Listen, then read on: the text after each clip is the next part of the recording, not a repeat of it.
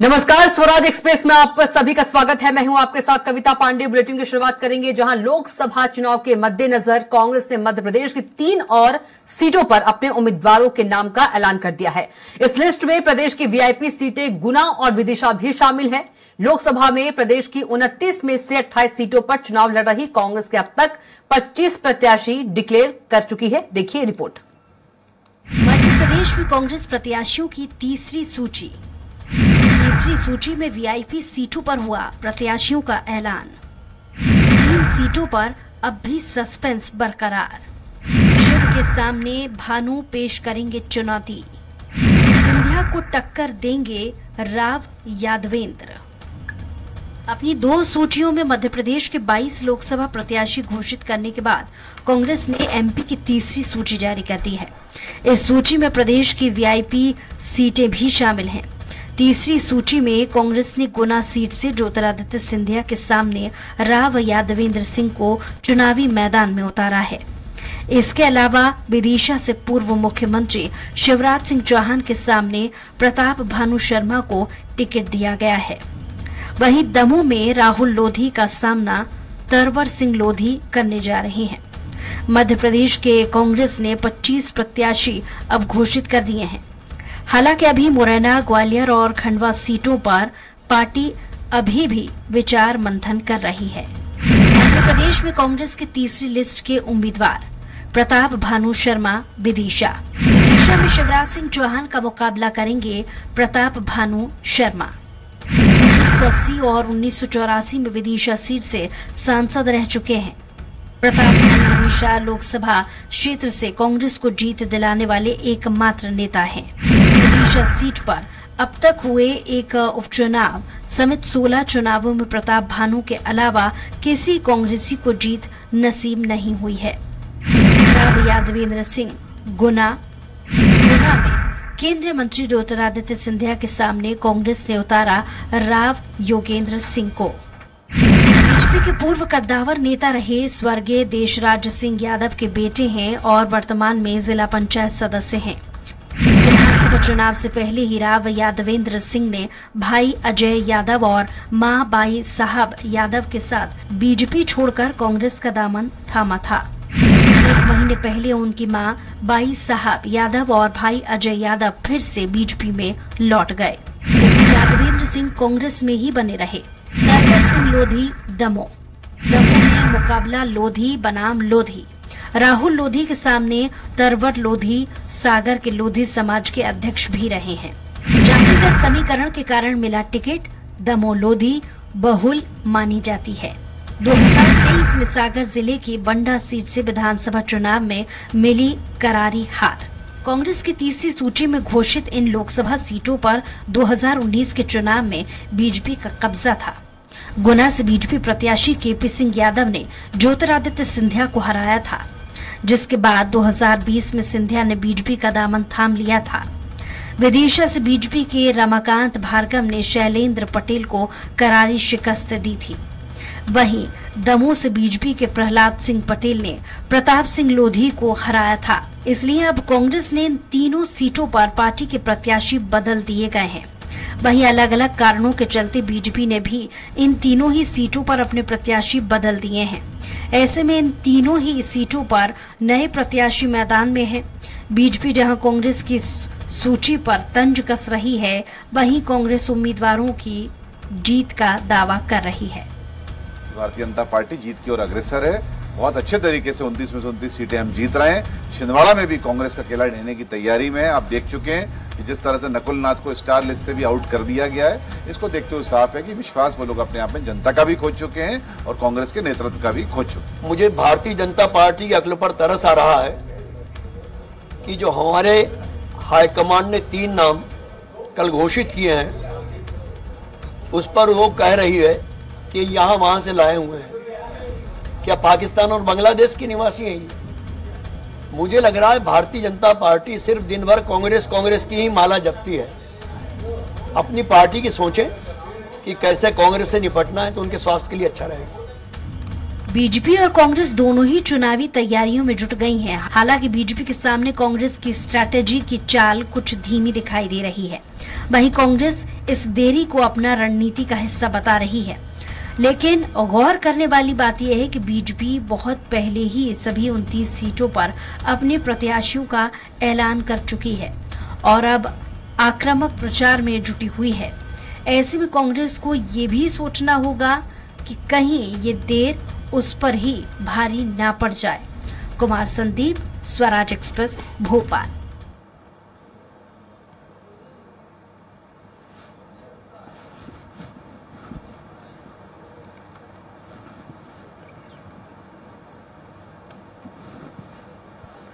और चलिए इसी खबर पर ज़्यादा जानकारी के साथ हमारे संवाददाता दुर्गेश गुप्ता सीधे जुड़ गए हैं। दुर्गेश का रुख कर लेते हैं।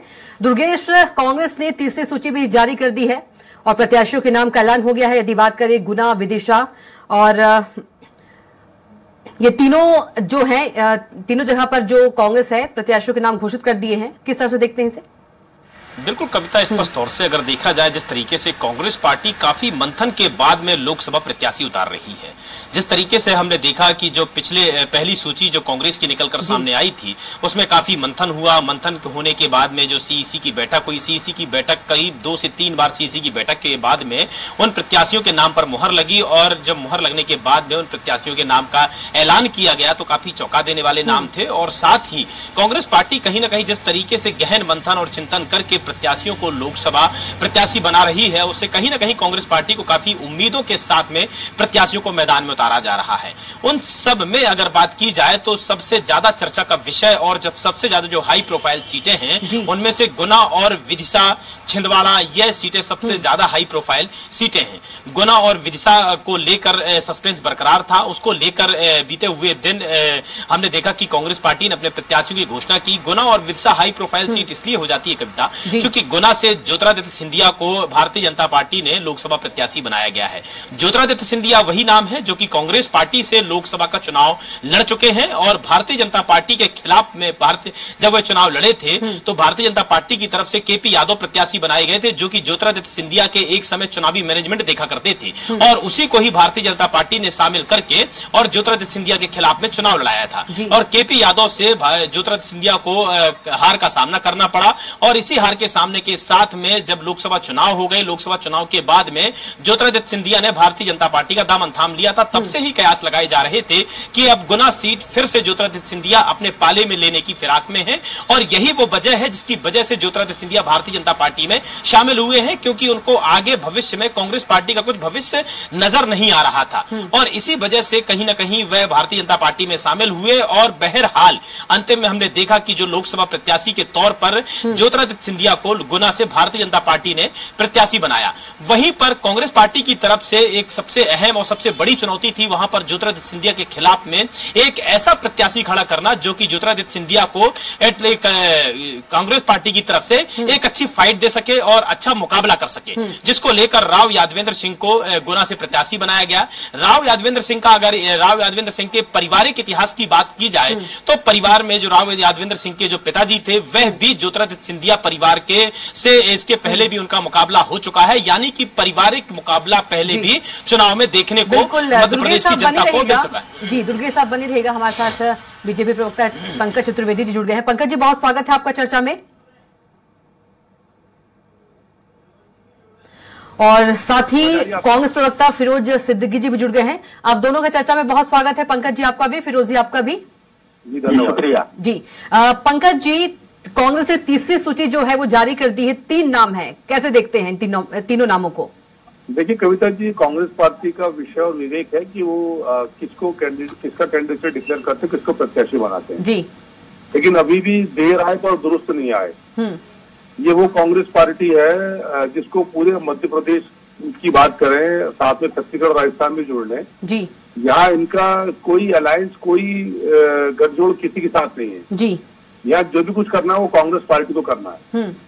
तो ऐसी परिस्थिति में भी यदि आपके पास अभी भी तीन प्रत्याशी घोषित करने की ग्वालियर मुरैना खंडवा की की दुविधा हो हम्म। आप तय नहीं कर पा रहे हो कि कौन सा कांग्रेस प्रत्याशी कैंडिडेट के तौर पर वहाँ मैदान में आएगा कांग्रेस कार्यकर्ता मैदान में आएगा हम्म। तो दर्शाता है कि अभी भी ये गुटबाजी से ग्रस्त त्रस्त है नेता नीति नियत ये सब संकट इनके साथ निरंतर बने हुए हैं जी ये सबसे बड़ा लीडरशिप क्राइसिस है। ये जितेंद्र पटवारी का फेलियर है जो बातें बड़ी बड़ी करते हैं। हम्म। लेकिन अभी तक तय नहीं कर पाए कि कैंडिडेट कौन होगा कैंडिडेट क्या होगा। और, और दुर्भाग्यपूर्ण स्थिति देखिए कि जितेंद्र पटवारी ने साहसी के लोकसभा चुनाव लड़ने कमलनाथ जी पहले पलायन कर गए बेटे को मैंने बताया दिग्विजय सिंह जी कह रहे हैं मुझे तो ज़बरदस्ती कैंडिडेट बनाया। तो भाजपा के ज़बरदस्त प्रत्याशी कांग्रेस के ज़बरदस्ती। हम लोगों के जो प्रत्याशी मज़बूत प्रत्याशी हैं। जी। कांग्रेस के प्रत्याशी मजबूर प्रत्याशी हैं। प्रताप भानु शर्मा जी बेचारे कोई कैंडिडेट नहीं मिला तो मजबूरी दे दिया। तो इन सब जगहों पर रिकॉर्ड मतों से चुनाव जीतेंगे चाहे गुना का विषय हो या विदिशा का विषय हो। हम्म। मतलब कि आप ये कहना चाह रहे हैं कि मजबूरी में जो कांग्रेस के प्रत्याशी है वो चुनाव लड़ रहे हैं? मैंने तो कहा कि भाजपा के प्रत्याशी मज़बूत कांग्रेस के मजबूर ठीक है फिरोज जी से जवाब ले लेते हैं। फिरोज जी देर आए लेकिन दुरुस्त नहीं आए। और पंकज जी कह रहे हैं कि जो बीजेपी के प्रत्याशी हैं वो मज़बूत प्रत्याशी हैं और जो कांग्रेस के प्रत्याशी हैं वो मज़बूत प्रत्याशी हैं क्योंकि चुनाव नहीं लड़ना चाह रहे मजबूरी में उन्हें चुनाव लड़ना पड़ रहा है। फिरोज जी। जहाँ तक देर होने की बात है हम्म। तो मध्य पूरे देश में कांग्रेस पार्टी को तो अपने टिकट वितरण करना है। हम्म। सीईसी की बैठकें रेगुलर रोज हो रही है हमारे यहाँ। कल तेलंगाना की हुई साथ में मध्य प्रदेश की भी हमने तीन सीटें क्लियर कर दी। हम्म। तो लगातार अब भारतीय जनता पार्टी तो अरुणाचल से मेघालय से और नागालैंड से तो पलायन कर चुकी हाथ जोड़ ली उन्होंने कि अब हम वहाँ अपना कैंडिडेट नहीं उतारेंगे। ठीक है? और ज, ज, इनके ज़्यादातर अलायंस सब बिगड़ चुके हैं। महाराष्ट्र में इनकी अभी तक सूची नहीं आई है। यू, उत्तर प्रदेश में सूची नहीं आई है। बिहार में अभी सूची जो है अप्रत्याशित है। तो ये तो राष्ट्रीय चुनाव है। राष्ट्रीय चुनाव में हर कोई राज्य जल्दी क्लियर हो जाता है, कोई राज्य जरा देर से क्लियर होता है। तो ये ऐसा चलता रहता है। इसमें कोई बड़ी दिक्कत नहीं है। लेकिन दिक्कत ये है कि अब भारतीय जनता पार्टी में महाराज इतने पावरफुल है कि वो हारे हुए जो कैंडिडेट है वो गुना से लड़ रहे हैं। और जो जीते हुए के पी यादव है वो बाहर बैठे हैं। तो आप देखिए भारतीय जनता पार्टी की स्थिति की कि वो किस तरीके से अपने नेताओं के मोहपाश में फंस गई है कि वो अब अपन जिसने ना गुना का जो वनवास था तीस चालीस साल बाद गुना का वनवास जिस आदमी ने खत्म किया था उसको इन्होंने बाहर बिठाल दिया। और महाराज जो हारे थे वहाँ से उनको चुनाव लड़ा दिया जो कि केंद्रीय मंत्री भी है राज्यसभा सांसद भी है। और मजबूर क्यों है हमारा कैंडिडेट बताइए कहाँ का कैंडिडेट हमारा कमज़ोर है? कहा हम लोगों ने ऐसा टिकट दिया है जिससे ये लगेगी ये जो व्यक्ति है प्रताप भानु शर्मा दो बार एमपी रह चुके हैं। पंकज जी ये कह रहे हैं कि जो आपके प्रत्याशी हैं चुनाव नहीं लड़ना चाह रहे हैं लेकिन उनको चुनाव लड़ाया जा रहा है मजबूरी में। तो भाई अगर हम हम तीन चार सीटें जो छह से आठ सीटें हमको देर हुई है तो वो इसलिए हुई है कि हमारे पास तीन तीन चार चार कैंडिडेट थे और उन तीन तीन चार चार कैंडिडेटों में तीन कैंडिडेट एक ही स्केल के थे तो ये हमारे लिए बड़ा मुश्किल का काम था कि तय तीनों में किसको तय करें। हम्म। ठीक है? और किसी ने ये कहा आके कि हमको चुनाव नहीं लड़ना है। कौन हमारा सिंबल फॉर्म फेंक फेंक के गया बता दीजिए। इन, इनकी तो बड़ोदरा की सांसद ने वापस कर दिया टिकट। ठाकुर जो था वो पोरबंदर से उसने कहा का, कासवा जो थे उन्होंने बीजेपी छोड़ी और कांग्रेस का टिकट ले लिया। वीरेंद्र चौधरी वीरेंद्र सिंह ने बीजेपी छोड़ी कांग्रेस का टिकट ले लिया हरियाणा में। तो जो बातें हो रही हैं वो बातें अलग है। पंकज जी अलग है। कैंडिडेट्स ज़्यादा थे इसलिए देरी हुई। देखिए कविता जी कांग्रेस अपने पक्ष में कुछ भी तर्क रखे उनका अधिकार है। और दिग्विजय सिंह जी ने स्पष्ट तौर पर कहा शायद हमारे मित्र ने उनका बयान नहीं सुना होगा कि मैं तो चुनाव नहीं लड़ना चाहता था किसी नौजवान को लड़ाना चाहता था। हम्म। पर पार्टी ने मुझे लड़ा दिया इसलिए लड़ रहा हूँ। हम्म। कमलनाथ जी पहले कह चुके थे मैं चुनाव नहीं लड़ूँगा। हम्म। अजय सिंह राहुल भैया मना कर चुके थे मैं चुनाव नहीं लड़ूँगा। मोहन सिंगार ने कहा कि दिग्विजय सिंह जितेंद्र पटवारी कमलनाथ चुनाव लड़ेंगे नेता प्रतिपक्ष है तब मैं चुनाव लड़ने तैयार हूँ। जितेंद्र पटवारी में दम नहीं कि इंदौर से चुनाव लड़ना है। हम्म। तो इनको मज़बूत प्रत्याशी नहीं कहते इनको अब जो मिला वो मजबूरी में है। हम्म।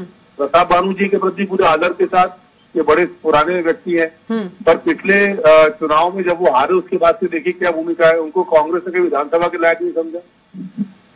तो मेरा इतना सा आग्रह है कि ये इनको तय करना है किसको टिकट दें ना दें। हम्म। पर जनता और, और जनार्दन और देश नरेंद्र मोदी जी गारंटी के साथ है।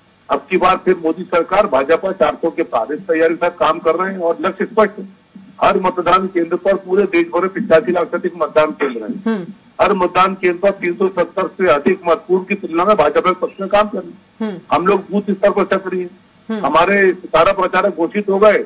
यहाँ कांग्रेस पार्टी तय नहीं कर पा रही कि क्या करना अपने वो जिलाध्यक्ष बना रही कहीं प्रवक्ता बना रही कैंडिडेट ढूंढ रही है।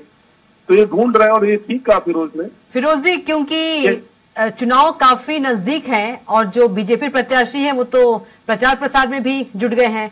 तो अभी तक आपके कैंडिडेट सीट तय नहीं हो पाए हैं तो कैसे प्रचार करेंगे? देखिए मैंने फिर कहा ना जी। कि पूरे देश में चुनाव हो रहा है। हम्म। और ये देश का चुनाव है। ये एक अकेले मध्य प्रदेश का चुनाव नहीं है। और पार्टियाँ जो है समय समय पर निर्णय लेती जा रही है। आप देखिए रोज सूची आ रही है। और रोज हमारे के जो है कैंडिडेट डिक्लेयर होते चले जा रहे हैं। और अब की बार 400 पार ना मोदी की गारंटियों का पता है मध्य प्रदेश में बता दीजिए कौन सी गारंटी पूरी हुई। सत्ताईस सौ रुपए किसानों को मिले क्या गेहूँ के? अभी देखो किसान लाइन लगाए हुए हैं गेहूँ की ट्राली पे। सत्ताईस सौ रुपए की बात कर, करके चले गए जुमला। इकतीस सौ रुपये धान के नहीं दिए आपने। महिलाओं को तीन हज़ार रूपए नहीं दिए आप कांग्रेस देगी साढ़े आठ हज़ार रूपए फिरोज जी महिलाओं के लिए। फिरोज जी ये विधानसभा चुनाव जैसा ना हो जाए क्योंकि प्रचार प्रसार के लिए वक्त कम मिलेगा ना आपके प्रत्याशियों को?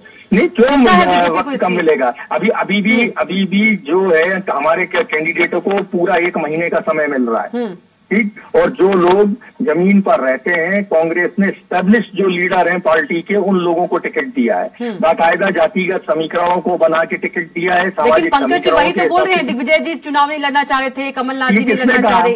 ये किसने कहा? पंकज जी, किसने कहा? नेशनल चुनाव में नेशनल चुनाव में नेशनल अम, अम, नेता चुनाव लड़ेंगे ही नहीं लड़ेंगे या नहीं लड़ेंगे? और जहाँ हमको उपयुक्त लगा कि हमको इस नेता को चुनाव लड़ाने से हमें आसपास की सीटों का फ़ायदा हो सकता है हमने दिक्कत बीजेपी को नहीं है। फिरोज जी पंकज जी कह रहे दिक्कत बीजेपी को नहीं है कौन लड़े कौन नहीं लड़े लेकिन पंकज जी कह रहे हैं कि उन लोगों ने कहा कि हम नहीं लड़ेंगे। पंकज जी। देखिए देखिए, किसी ने नहीं कहा। जी सुन लेते हैं पंकज जी को सुन लेते हैं। कविता जी जी। एक तो पहले मैं थोड़ा हमारे मित्र की जानकारी दुरुस्त करूँगा। अभी हमारे मित्र का कि अरुणाचल प्रदेश से बीजेपी पलायन कर चुकी है। भैया फिरोज भाई अरुणाचल प्रदेश में उपचुनाव है छह सीटों के।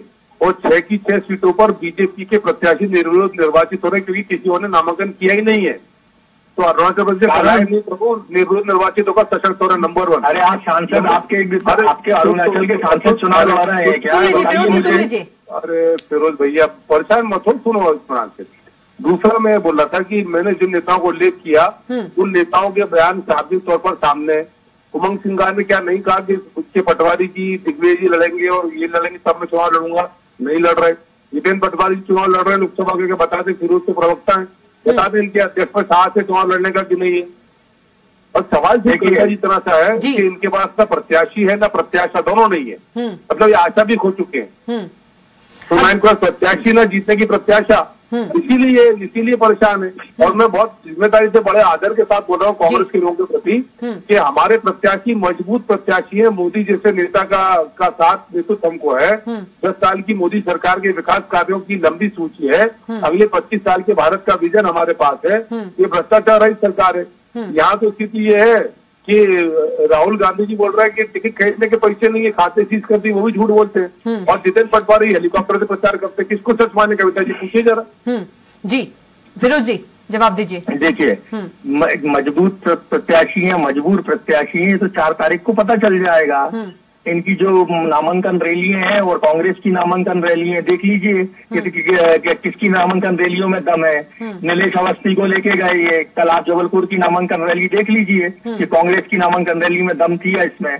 रही बात तो कांग्रेस तो लेकिन फिरोज रिज़ल्ट वाले दिन दिखेगा ना? हाँ बस तो इनको रिज़ल्ट वाले दिन स्पष्ट सामने दिख जाएगा कि क्या है ये।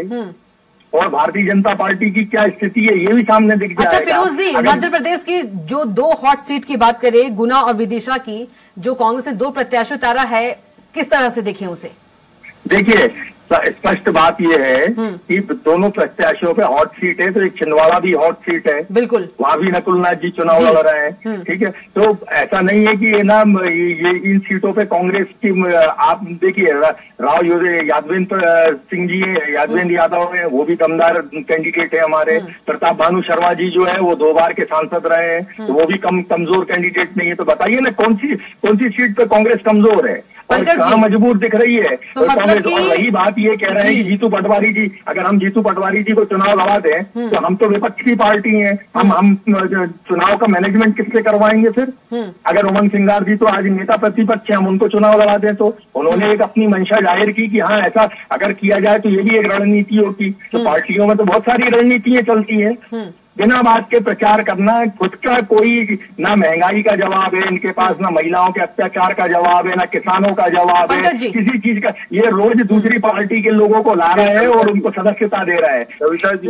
फिरोज जी फिरोज जी लेकिन आपके पार्टी के लोग खुद जा रहे हैं ना पकड़ पकड़ के थोड़े ले जा रही है बीजेपी की आइए आपको पता है आपको पता है जो अभी सुरेश पचोरी जी विशाल पटेल और संजय शुक्ला इनको एक करोड़ का ईडी ने नोटिस दिया है। ठीक? हमारे 122 नेताओं को इनकम टैक्स का नोटिस दिया वो आज से 15 साल पहले कभी हवाई यात्रा की थी तो पूछ रहे हैं कि बताओ ये हवाई यात्रा का टिकट कहाँ से आया? केजरीवाल क्या है?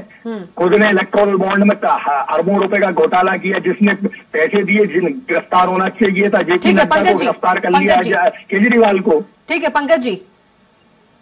जी मुझसे सवाल है। जी। देखिए कविता जी आपने कभी सुना किसी भाजपा के कार्यकर्ता को वही बोल रहा हूँ कि मैं चुनाव नहीं लड़ूँगा? हम्म। मुझे टिकट मिल जाए। जी। यहाँ स्थिति ये है मैंने तो नाम गिना है कि इनके बयान मीडिया में सार्वजनिक है। और कारण स्पष्ट है कि अच्छा कितनी सीटों पर लड़ रहे हैं देश भर में? सवा दो सौ ढाई सौ सीटों पर तो लड़ रही है। आप देखिए इसका नाम है अखिल भारतीय कांग्रेस कमेटी। इनकी टोटल अभी सीटें लोकसभा में चवालीस दस बिल्कुल। फाइव फोर्टी थ्री का। और चवालीस में से कविता जी उनके पास पंद्रह सीटें केरल से जी। यदि वो माइनस कर तो उनतीस सीटों पर अखिल भारतीय कांग्रेस कमेटी। इसके पिछले चुनाव में चौदह के चुनाव में तिरपन सीटें थी बावन सीटें। जी बिल्कुल तो पंकज जी जी जी बिल्कुल समय का भाव है इसलिए यहीं पर क्लोज करना होगा। पंकज जी आपका बहुत धन्यवाद। चर्चा में शामिल होने के लिए फिरोजी आपका बहुत धन्यवाद।